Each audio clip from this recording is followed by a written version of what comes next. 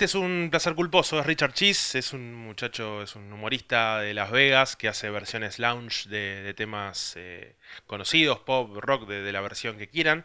Esta, este uno de sus tantos discos se llama Lounge Against the Machine. Joyride de Roxette. Es culposo porque no está bien decir que a uno le gusta Roxette y es culposo también porque cada vez que lo pongo me da culpa haberlo robado.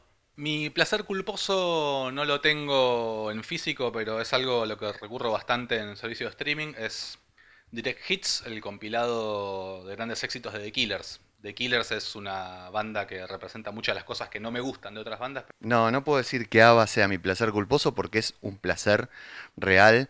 Eh, pero bueno, se supone que uno no tiene que escuchar ABBA si le gusta el rock. Eh, salvo que por ejemplo, le preste atención a cómo cantan esas mujeres, a qué tipo de composiciones tenían y a lo grosos, grosos que eran. Desde What's My Age Again de Blink 182 hasta Guerrilla Radio de, de Rage Against the Machine, justamente. Las versiones son increíbles y, me lo traje de afuera porque lo quería tener como sea, porque me divierte muchísimo. Se lo robé a un amigo, no es de esos que uno pide prestado y, no devuelve, sino literalmente fue fui a su discoteca y se lo robé. Obviamente sí, tenían esos vestuarios y todo, y Eurovisión y toda la grasada, pero las canciones, y sobre todo las de este disco, las banco a muerte. Cosas que sé que no deberían gustarme, pero me gustan, de hacer culposo. Eh, si a alguno le parece que estoy agrediendo a su banda favorita, lo lamento.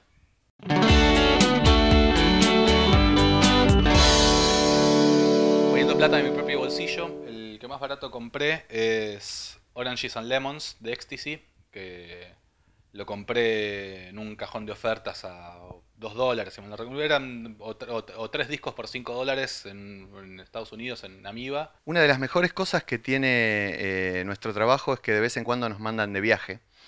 Y una de las mejores cosas que tiene viajar a Los Ángeles es ir a Amiba, que es como el paraíso del enfermo de los discos.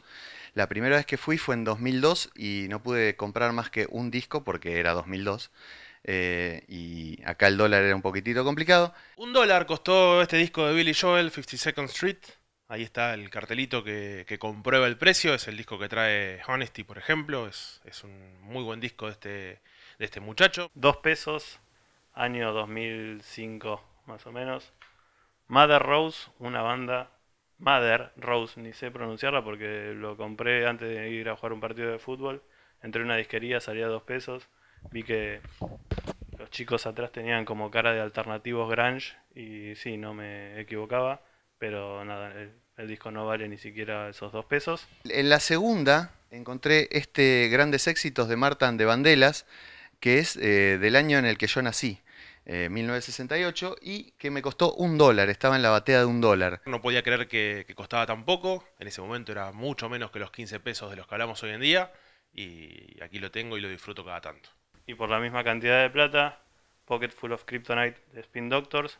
Eh, en esa época uno podía comprar la discografía completa de los Spin Doctors por 20 pesos. Habían entrado desde Brasil las ediciones eh, de manera no muy legal, supongo y así podía comprar uno por dos pesos, el otro por cinco. Este es el que tiene ese tremendo hit que es Two Princes. Eh, acá está, por ejemplo, Dancing in the Street, que los más jóvenes, no tanto, deben conocer por la versión de, David Bowie y Mick Jagger. Dentro del mare magnum de ofertas que había estaba XTC, Oranges and Lemons, y así se vino conmigo a mi casa.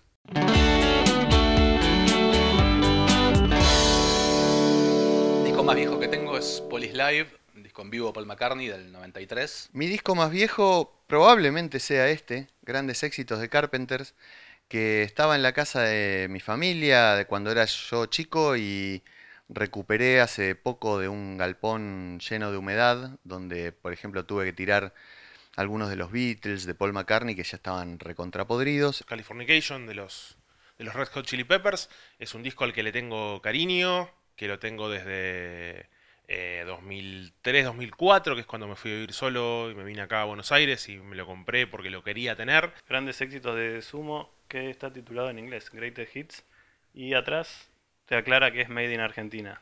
Sí, es un disco de Sumo. Paul McCartney vino por primera vez a Argentina en el diciembre del 93, eh, yo tenía 10 años y fui a verlo y cuando de- a los pocos días del show pedí como regalo que me regalasen.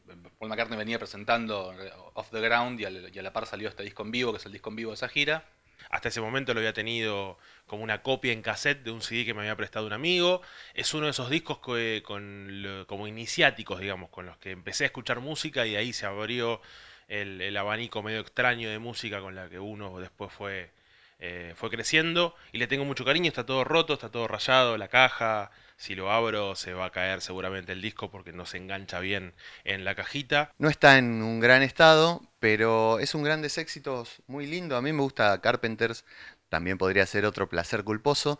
La voz de Karen Carpenter eh, me sigue conmoviendo y bueno, estoy feliz de haber recuperado este disco. Como este disco tiene un par de canciones, los Beatles y demás, me interesaba más tener Off the Ground y así se volvió mi primer disco. Tenía 14 años más o menos y como en mi pueblo natal las disquerías abrían dos meses, cerraban 14 y así para comprar un disco teníamos que esperar irnos de vacaciones con mis viejos y en Mendoza convencí de que me compren este excelente disco para entrar en la discografía de Suma.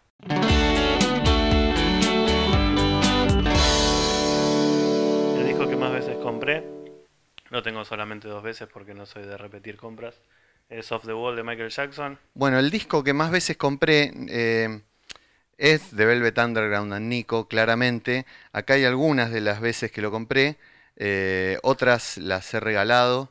eh, lo he comprado mucho para regalarlo porque creo que es un disco que abre eh, universos. Realmente mi discoteca empieza en este disco. No soy de comprar muchas veces un mismo disco porque eh, con el tiempo aprendí a no caer, en la, no caer en la trampa de comprarme nuevas ediciones por algún tema además o lo que sea.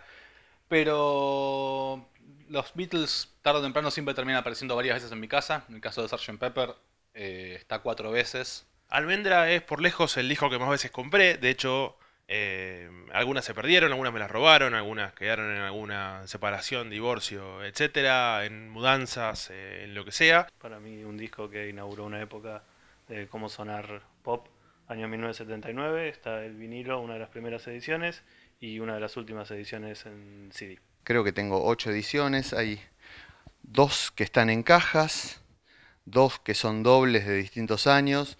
El primer CD, el que le compré, que jamás lo tiraría, por más que obviamente que los demás suenan mejor. Estuvo la edición en CD, la original del 88, después la, la remasterizada en estéreo del 2009, la edición mono y esta en vinilo, así que es el único disco que está cuatro veces. Esta caja, de hecho, no corresponde al disco que está dentro. Esta ver- versión que está dentro es de las que vienen en cartoncito.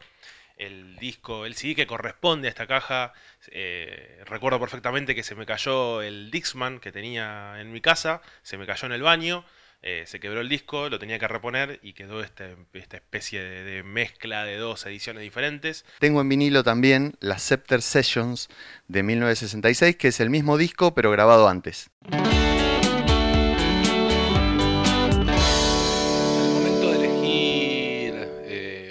Disco favorito es bastante difícil y de hecho las sesiones van variando hora tras hora y de hecho no pude elegir uno, elegí dos. Kind of Blue de Miles Davis es el mejor disco que se haya grabado en la historia de la humanidad. El que dice lo contrario es porque no, no lo escuchó o porque no tiene oreja. Decidí ir con este, el álbum blanco, no hace falta que lo presente, de la, de la última reedición que, que existió en vinilo. De hecho, es el disco que inauguró mi, mi nueva etapa de reencontrarme con el, con el vinilo. Discos favoritos tengo muchos, demasiados tal vez. em, y obviamente podría haber elegido The Velvet Underground and Nico, eh, Funhouse de los Stooges, pero bueno, vamos a ir con esta Gloria, que además por primera vez tengo en vinilo con estas reediciones que salieron ahora. Definitely Maybe, el debut de Oasis y Dynamo de Soda Stereo. que el disco que, un disco que en su momento no me gustó mucho, eh, también porque tenía nueve años, es entendible que no me gustara Dynamo en su momento.